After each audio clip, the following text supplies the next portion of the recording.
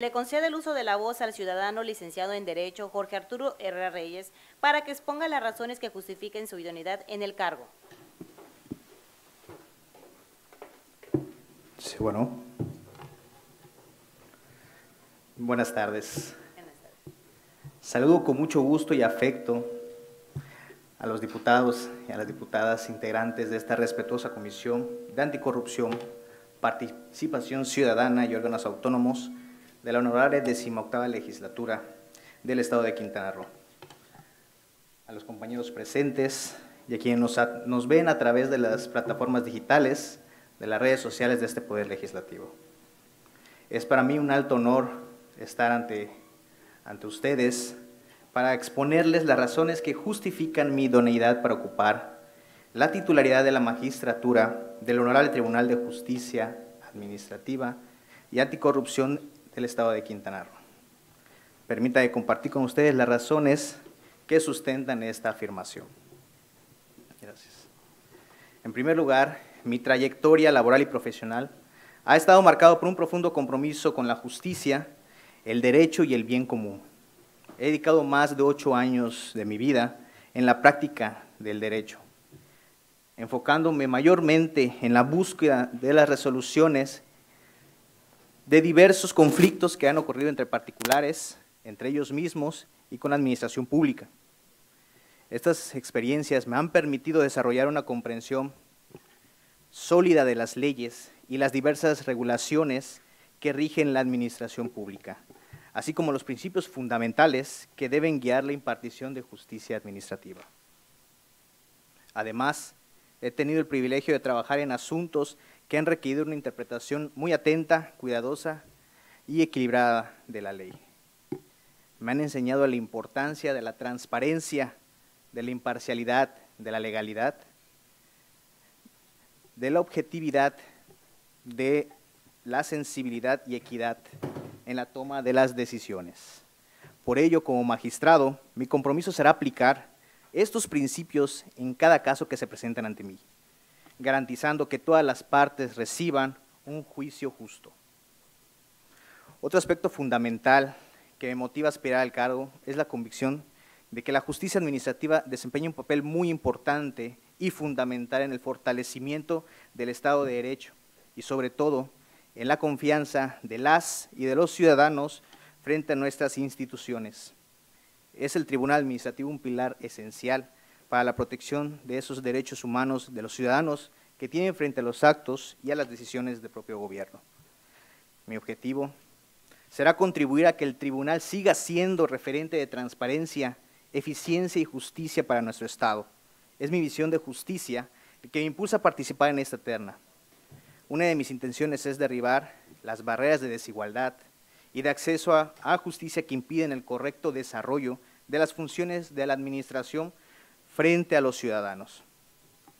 Creo firmemente en nuestras instancias jurisdiccionales, que nuestros tribunales existen para resolver y dirimir los conflictos, buscando siempre la paz y la estabilidad social en nuestro Estado.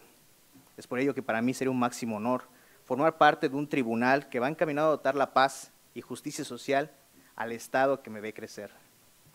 Aunado a lo que les he platicado y expuesto, quiero destacar mi compromiso con la formación continua, permanente y constante en la materia. Estoy convencido de que un magistrado o que una magistrada debe estar necesariamente al tanto de las reformas y tendencias del derecho administrativo para, poder ofrecer una justicia de calidad. Por ello, el ejercicio de la titularidad de una de las magistraturas de este honorable tribunal no será impedimento para seguir capacitándome a través de cursos, seminarios enfocados en la impartición y administración de justicia administrativa y sobre todo combate a la corrupción. La magistratura, en caso de otorgarse la titularidad, estará a la altura que la sociedad quintanarroense demanda. Estoy consciente del enorme reto, pues no es una labor sencilla impartir justicia y combatir la corrupción. El camino es largo, pero estoy dispuesto a recorrerlo, sin duda alguna, por amor a mi Estado y porque queremos encontrar la paz que tanto anhelamos. Soy joven y con gran interés de servir y garantizar el Estado de Derecho.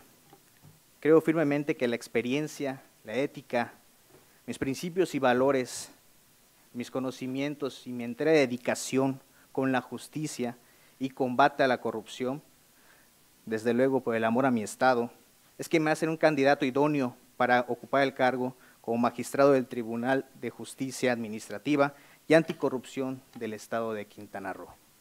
Su servidor, Jorge Arturo Herrera Reyes, está dispuesto a asumir esta responsabilidad con integridad, honestidad, entera dedicación, total rendición de cuentas y un profundo sentido del deber hacia nuestra sociedad. Estimados diputadas, diputado, agradezco sus atenciones y finas consideraciones. Es cuanto. ¿Alguna diputada o diputado desea hacer uso de la voz? Se le concede el uso de la voz a la diputada Jennifer. ¿Qué tal?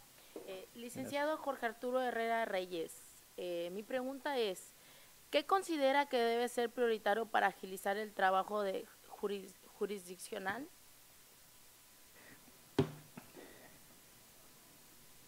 Gracias, diputada. Considero que hay que mejorar la administración dentro del propio tribunal, el análisis y la clasificación de los expedientes que existen en rezago pudiera priorizar que las respectivas magistraturas o las salas correspondientes puedan dar el cumplimiento de término, ¿no? apegado estrictamente a los principios de imparcialidad, inmediatez y exhaustividad. Yo opino igual de que eso ayudará mucho el uso de los medios, de la tecnología, ¿no? a través de las herramientas que existen hoy en día que nos ayudan a dar justamente este cumplimiento cabal de los principios de inmediatez. Entonces estoy, estoy seguro que eso podrá apoyar mucho a mejorar sobre todo la administración dentro del tribunal. Muchas gracias. Se le concede el uso de voz al diputado Sanem. Gracias. ¿Se oye? Ah, bueno. Eh, Jorge, buen día. Gracias por tu participación. Gracias. Me gustaría saber tu opinión con respecto al personal que trabaja actualmente en el tribunal. Si crees que debe haber continuidad o como con los magistrados, iniciar un nuevo tribunal desde cero. Gracias, diputado.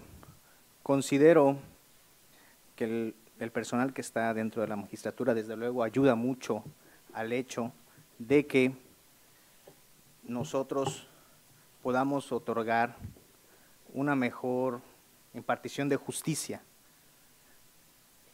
El personal que se encuentra a cargo, desde luego que apoya mucho, apoya demasiado para el tema de la impartición. Considero que hay que darle prioridad o priorizar más bien a aquellos que tienen los principios fundamentales de la justicia, que buscan desde luego darle, de no, de no hacer caso a instrucciones o quizás de unos terceros que se ven involucrados por subordinación. Entonces yo, yo, yo sugiero que, la, que el personal que se encuentra en la magistratura, desde luego es la base fundamental para poder realizar la impartición de justicia, hay que priorizar desde luego aquellos que están encaminados a que nos puedan otorgar siempre con los principios fundamentales de la justicia y el bien común. Gracias. Hago uso de la voz. Licenciado Jorge Arturo Herrera Reyes, ¿qué elementos consideras necesarios para cumplir en materia de transparencia el trabajo que se realiza en el tribunal? Muchas gracias. La rendición de cuentas considero que es muy importante dentro del tribunal y desde luego en, en general.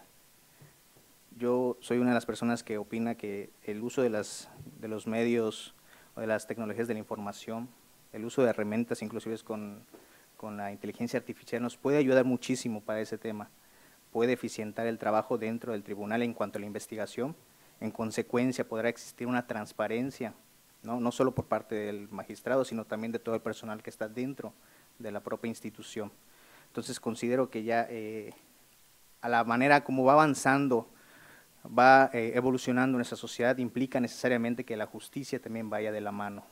Entonces, considero que esos elementos eh, serán suficientes, deberán ser ya necesarios suficientes para el tema de la transparencia dentro de la, de la institución. Como magistrado uno debiera también tener la iniciativa frente a los demás de la rendición de cuentas, ser muy claro en ello y siempre he opinado que ahora con esos medios o con la tecnología que existe, sean herramientas suficientes para eso. Muchas gracias. Gracias. No habiendo más intervenciones, agradecemos su participación. Licenciado Jorge Arturo Reyes, gracias- Reyes muchas gracias. Muchas gracias a ustedes, diputadas y diputados, a los presentes. Gracias.